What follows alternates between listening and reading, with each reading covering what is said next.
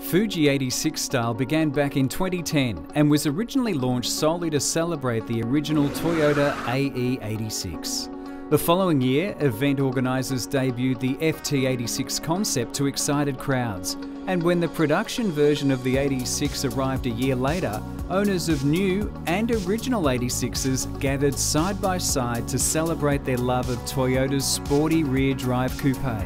In 2013, the event was expanded to include the Subaru BRZ, bolstering the festival to become the largest of its kind anywhere in the world.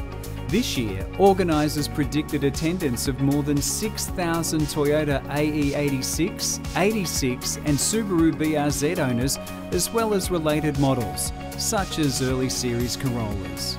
As well as show and shine and trade events, Fuji 86 style also allows owners the chance to meet Toyota engineers and executives, and famous race and drift car drivers. Race and parade laps are held, as is a drift event open to all brands later in the afternoon. Fuji 86 style is held every summer on or around August 6, the eighth month and sixth day of the calendar year chosen to honour the Japanese numbers for 8 and 6, or Hachi and Roku for which the model is named.